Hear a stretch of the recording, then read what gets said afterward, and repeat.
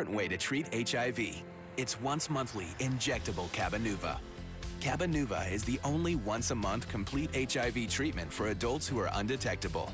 Cabenuva helps keep me undetectable. It's two injections given by my healthcare provider once a month. HIV pills aren't on my mind. I love being able to pick up and go.